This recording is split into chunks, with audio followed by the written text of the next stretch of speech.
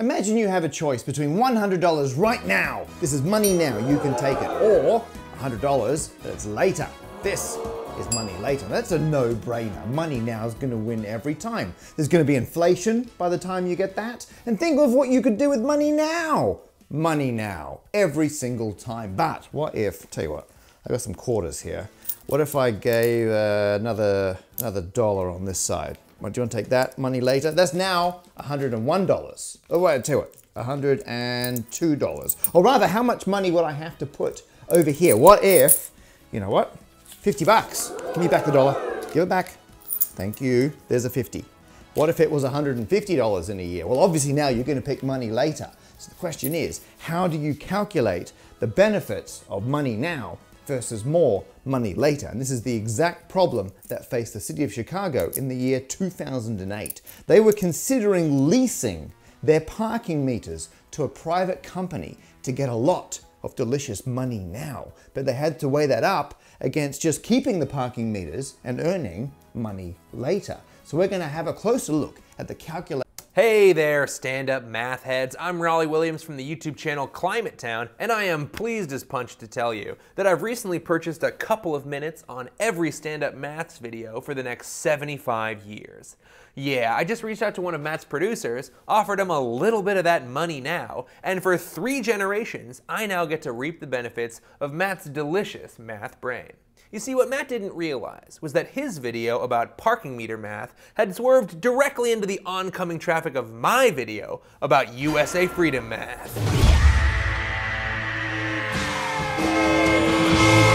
So thanks so much for tuning in to a very special episode of Stand Up Maths Town, all about the time Chicago got absolutely hosed when they sold control of their parking meters and streets to Morgan Stanley. And I know Matt lives in like the Tower of London in France or wherever, but I'm sure he won't mind joining me on a little trip to Chicago through the magic of editing. Magic of editing. So much effort for a joke. I can't, I've got a family at home. Hey, we can complain. Do you know what the commute is? Is it zero hours? It's more than zero. I knew you'd only say it if it was a lot or a little. Oh. Look, we can just knock this thing out in 30 or 40 hours and then we can get you home to your alleged family, man. Fine, fine, fine. Yeah, okay, so today we're going to look at parking meters in Chicago. That's how you do titles. your intro? Yeah, yeah, yeah, I say a concept, leave a beat, opening titles. In America, we do it like this. Hey, I'm Rollie Williams, and this is Michael Parkenberger, and this is Stand Up Math Town. Climate, Climate. Town.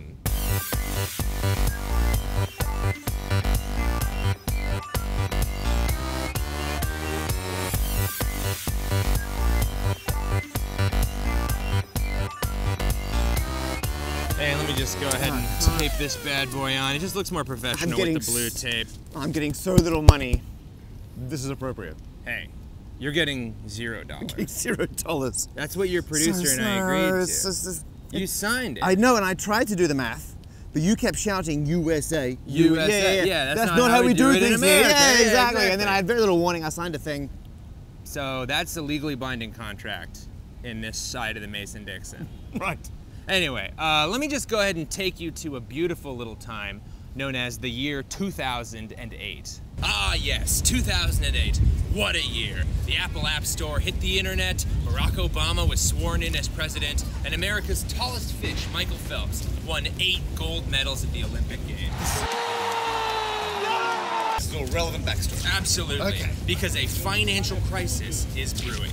And don't even ask, because no one knows how it started. No one knows which country is most responsible. Pretty sure with the mortgage-backed securities. Yeah. There's one very specific It's really country. tough to tell. It could have been any Lehman Brothers. The point is, it was happening, and no one knows whose fault it was. Practically every city on Earth was hurt by this mysterious financial crisis of 2008, and Chicago was no exception. They needed to fill a $150 million hole in their city budget. Now, they could raise property taxes, but that wouldn't be very popular with the voters. So their intrepid mayor, Richard M. Daley, decided to sell the city's parking meters and their commensurate road space to a private company. That's right, 36,000 parking meters would be privately owned. 36,161. Wow. I looked it up. You've done your research. Just that one bit. Wow, Matt, very cool. Do you know how much the winning bid was? Uh, millions. Technically, yes. Thank you. Morgan Stanley and the Emir of Abu Dhabi purchased all of the meters in Chicago for $1.157 billion for Billion. 75 years. Billion with a B. Billion with a B, 75 years. 75 with the numbers, 7 and 5, and then years just spelled normally. And then we're gonna whip out of this. Oh, I'm with, okay, ready? Yep. and $1.157 billion. Now, $1.157 billion certainly sounds like a lot of money, but it's not immediately obvious how much 36,000 parking meters take in over the course of a 75-year contract. Especially when Morgan Stanley had plans to quadruple the rates, extend the meter hours, They had a real vision to extract a lot of value out of this lease. That's right. So was 1.157 enough money? It turns out the answer is super no. Now, this is going to have a lot of important math questions that only you can handle. this is my time to shine. Thank you. Okay, so we're gonna have a closer look at the mathematics of the deal. And then we do a wipe. Nice. Very professional. And then the wipe happens? Yeah, the wipe- wipe is it, yeah. I love that. For Chicago to be able to calculate how much money they would need to get now to justify giving up all parking revenue for the next 75 years, they need two things factored in. First of all, how much will that revenue be? And secondly, how much is it worth to get the money up front as opposed to across 75 years? In terms of revenue, in 2008, their consultant worked out a range of possible rates. First of all, they decided the first four years of the lease would be a write-off because of the amount of capital investment that was required. From year five onwards, they would get between 85 and 130 million dollars per year, and that would increase 3% per year, which was just what they assumed inflation would be across the remaining, whatever that is, 70 odd years of the lease. In 2009, when the Inspector General did their comprehensive investigation into this terrible, terrible deal, they split that range into subcategories. They said the 85 million a year was pessimistic, you then had the slightly pessimistic, the slightly optimistic, and the 130 million was fully optimistic. And then for good measure, they put in the exact midpoint as well. So there's our range of possible values. All we have to do now is work out the discount rate of getting the money now, which is slightly more complicated. And occurs to me now that Stand Up Maths is a subsidiary of the Climate Town Enterprise system, I can use all of their conventions and, and video syntax, which means I can just do a crash cut to the edit bay. To the edit bay, we can now have a close look at how the city of Chicago should calculate a discount rate. That's how much you have to discount money later to make it be worth the same as money now, or rather, how much money you'd have to get later to forego money now. And I'm going to base my calculations off this report, which we've already mentioned. It's the Office of the Inspector General, City of Chicago. They had a close look at all of the numbers in 2009. And right at the end here, they show how they actually calculate their recommended discount rate. And you've got to factor in a few things. You've got to factor in inflation, and they assume inflation is going to be 3%.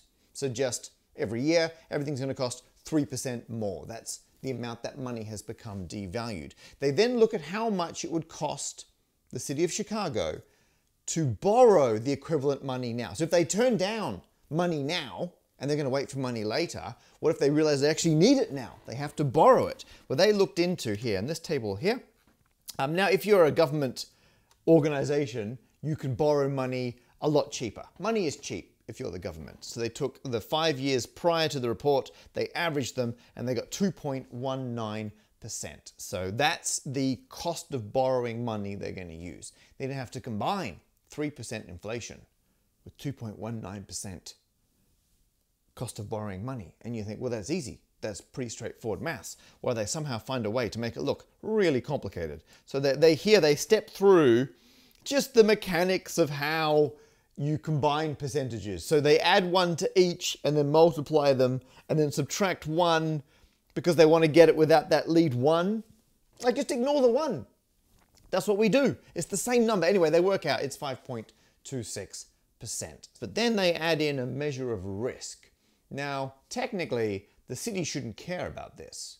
This is more if you're the person taking on the contract, you want an extra premium because of the risk you're taking on. And I mean, the city could say they don't care, but the Inspector General worked it out properly. They, uh, well, they made a number up. Well, they, they took it from some research in Australia. That seems to be about it. And they said that you should add on an extra 1.8%. Just, just add that on to your discount rate so everyone's happy. I guess they want to calculate what's a competitive amount. Like they want this to be an appealing proposition so that someone does buy the contract, but they don't want to make it so appealing, spoiler, that they get terrible, terrible value. So at the end of all the calculations, the discount rate is 7.06%. This is the uh, this is the accumulation projecting into the future for how much it would be worth for different discount rates from 5%, 6, 7, 8, 9, and then how optimistic or pessimistic you are and what the future revenue may be. And uh, these categories, these are 15 million apart. That's, the, that's a unit of optimism.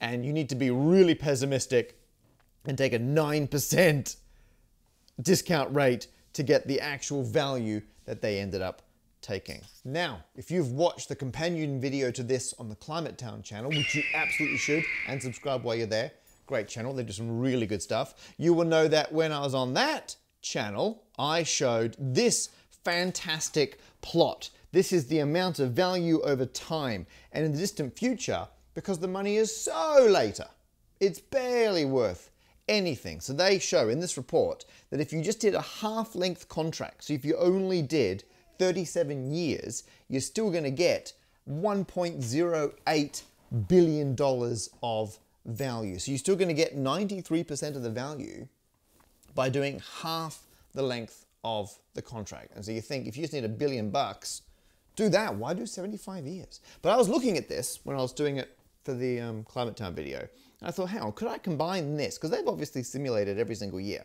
Could I combine this projection into the future for every year with the table that shows you the different levels of optimism and pessimism with different possible discount rates. So you know, I went and made myself a spreadsheet. Here it is. So I've got uh, your different levels of optimism and pessimism at the top. I've then broken it down for every single year, starting in 2009 all the way down here somewhere. Actually, we can probably zoom in a tad more. Here we go. Here's 2083 at the end of the contract. And I, this is just the inflation. So I, have moved everyone up uh, 3% every year. So there's a few years of no income. Then you've got, this is all in 2009 dollars. It goes up by 3% every year for each of the categories. I've then taken the 7% discount rate, so I've included as well as the inflation. I've got the full discount rate for all the different options, and then I've actually got an accumulation of that to work out the total value in each of these scenarios. Uh, if you sum all the way down to the year 2083, and I'm close to the official figures. I'm within 5%-ish of each one. But it occurs to me, with all our talk about discount rates, but yet we're increasing things, it might be getting a bit confusing. So I just want to simplify things, have a quick look at an example where you can buy $100 a year income for three years into the future by paying money now. And you might think, well, that's great, that's worth $300. But this income goes up with inflation. Inflation's 3%. So after one year, you don't get $100, you get $103, and it goes up by 3% every year. Now, what you pay now to get that income later, you don't just add them together because we have our friend, the discount rate. And up until now, I've been increasing the amount of money you have to get later to compensate for not getting it now. But in reality, you're just going to get the income you're going to get. All you can do is decrease what you pay now, and that's why it's called the discount rate. So after one year, it'll be 7% discount rate. After two years, it'll be, well, it's that twice. 7% to the power of 2 and then 7% cubed. So inflation I just did year after year sequentially. You can actually just do each year individually. It makes it a bit easier in the spreadsheet. And we divide by these to lower what the money's worth now compared to getting it later. And if you divide that through, you can see now it's all below $100. And if you add those together, you'll get the amount the income is worth now, which in this specific case is $278.12. And that that's the number we want. That's what the income is worth based on this expected level of inflation and on the discount rate that we, I don't know, kind of made up. And if we increase that, like here's 8% discount, you can see the value's gone down. Go up to 9% discount. It's gone down again. So if we actually go back to 8, $273.07. What if we decided 9? And that's why the discount rate is so important. You have to do so many calculations and add it all up. And you can see you're putting on the inflation and then you're actually taking it off again because it's in the discount rate. And you can get inflation free versions where you keep everything in now dollars. It's very complicated. I did my best to try and recreate everything that had happened in the report. And uh, it's close enough. But I was able to simulate everything that's in the report myself. So I've now got year by year breakdowns of everything that they were predicting would happen with the recommended discount rate, which I'm very proud of. It also means that now we can look at any given year in, in what was the future in 2009, but now that a lot of those years are our past, we can compare them. So we can actually take what they predicted would happen and compare it to what happened you know, in reality and see how close the predictions were. So actually, if we head back over to Chicago for this, so hang on, um, let me just skip ahead in the edit.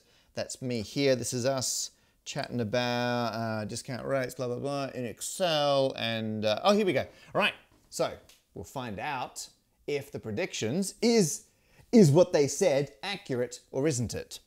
It's not. In 2022, the City of Chicago released an audit of all the money taken in by the private parking people up until the year 2021. And it turns out they were making a ton of money. Not only had they already recouped the entire purchase price, on top of that, they've had an extra half a billion dollars of delicious net revenue. And they've still got 63 years of profit coming at them. But okay, they're, they're making money. But does that match the predictions? Well, because I was able to reverse engineer all the calculations in a spreadsheet, I could look at just the predictions up until the year 2021, add them all up, and let's just say they're not in the optimistic category. They're not in any of the prediction categories because they are literally off the chart. They are two steps up, two optimism units above the chart. They've skipped over very optimistic and landed in extremely optimistic. And that includes having a global pandemic when revenues took a dive. Imagine if that hadn't have happened. They're making so much money. And that doesn't even include the fact because they bought a lease at below market rate, they're able to refinance on the correct valuation. They've made another half a billion dollars just from refinancing the assets that they own that the, the city basically gave away at a real discount rate.